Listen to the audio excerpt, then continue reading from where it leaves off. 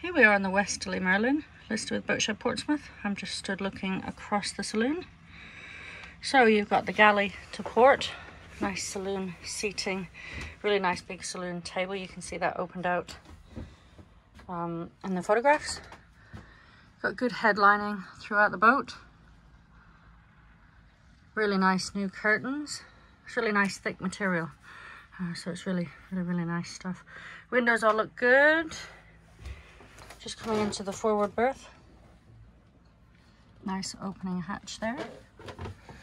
And then I'll just spin you around looking aft. Got the nav station here. Nice big heads on the starboard side. And your aft cabin, again, a really nice size.